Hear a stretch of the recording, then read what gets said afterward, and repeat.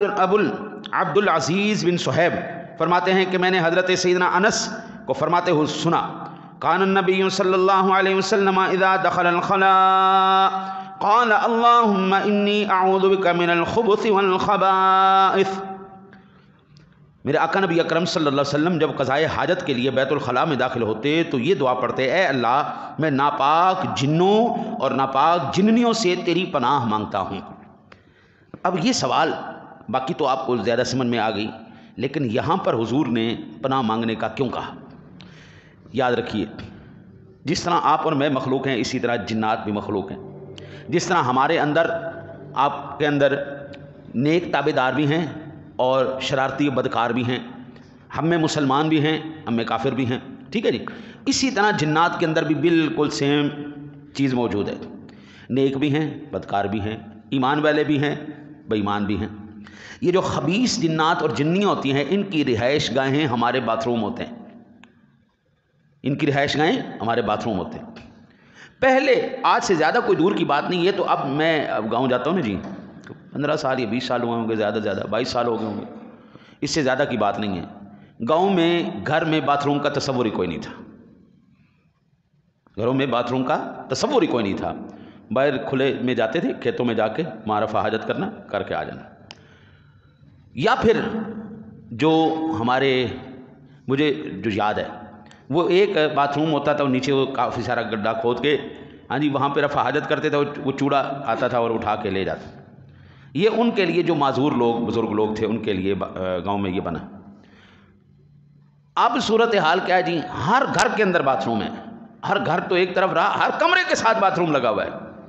Attach बात attach बात घर एक है चार चार लेटरीने ओ बाबा, इनके बसेरे तो तुम खुद घर में लेके आ गए हो। इनके बसेरे तो तुम खुद ले। ये गोबर है, ये गंदगी है, ये हड्डियाँ हैं, ये सारी तो इनकी खुराक है। यहाँ इन सब चीज़ों को अट्रैक्ट करने के लिए ये तो तुमने खुद अपने घरों में घुसेड़ दिया है। अगर यहाँ पर ले आए हो तो आप जो अल्लाह के हबीब ने आपको हिफाजती तदबीर इरशाद फरमाई है, उस पर अमल करो। अब ये वहाँ पे रहते तो क्या होता है जी, जैसे ही बंदा सतर नंगा करता है, ये इंसान के सतर के साथ खेलना शुरू कर देते हैं। बंदे जिन्हें भी पुठे कम करता है, कितने करता है? लटरीन हाँ जी, लेटरीन में सारे उल्टे काम हो रहे होते हैं। अब ये उल्टे काम कैसे हुए? वहाँ पर उसको गलबा क्यों चढ़ा? उसकी वजह थी यहाँ पे खबीस जिन और जिन्नियाँ थी। अच्छा ये सिर्फ़ उल्टे कामों का गलबा नहीं चढ़ता। फिर इसकी वजह से वो बीमारियाँ इंसान को लग जाती हैं जिन बीमारियों का वजूद ही कोई नहीं होता। मिसाल के तौर पर, बंदा बड़ा सख्त बीमार है, अस्पताल में गया, टेस्ट करवाए, बीमारी कोई नहीं। टेस्ट सारे कहते हैं, जनाब, ये बिल्कुल ठीक है, ये बंदे को कोई बीमारी, बंदा बीमार है। बंदा कहता है, मैं मरता हूँ, मुझे तकलीफ़ है। डॉक्टर कहते हैं, तेन कोई तकलीफ़ नहीं।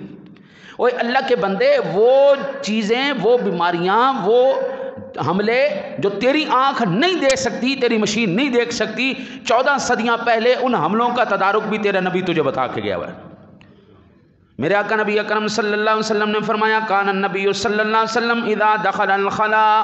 हुजूर जब भी बैतुल खला में तशरीफ़ ले जाते हैं, काला अल्लाहुम्मा इन्नी अऊज़ु बिका मिनल खुबुसी वल खबाइस। अल्लाह के हबीब फरमाते हैं, ए अल्लाह मैं नापाक जिन्नों और नापाक जिन्नियों से तेरी पनाह माँगता हूँ। अब क्या होता है जी, बंदा सतर ये दुआ करके अंदर चला जाए ना जी तो अल्लाह ताला उनको अंधा कर देता है, वो आपकी शर्मगाह को नहीं देख सकते। ये जितनी भी नई नई बीमारियाँ लगती हैं ना जी, इन बीमारियों में मौलवी इल्ला माशाल्लाह फंसे। कोरोना आया, मौलवी नहीं फंसे अच्छा इल्ला माशाल्लाह, और जब कसरत के साथ रगड़ा लगता है तो फिर बीच में, है जी, सुक्की दे नाल सीनी हाँ जी? वो कहते जी कि कटियाँ दी लड़ाई है घा एवं मिधी जाती है। तो ऐसा मामला हो जाता है, लेकिन अक्सरियत की बात हो रही थी। कैंसर आया, मौलवियों में नहीं आया। एड्स आया, मौलवियों में नहीं आया। कोरोना आया, मौलवियों में नहीं आया। इसी तरह जो दीगर वो अमराज हैं, जो नई से नई ईजाद हो रही हैं, नई से नई हमारे माशरे में फैल रही हैं वो इस तबके को क्यों नहीं लगी कि अभी भी इस तबके के अंदर कुछ शर्मो हया को दीन, को अल्लाह तोबा यह भी मौजूद है।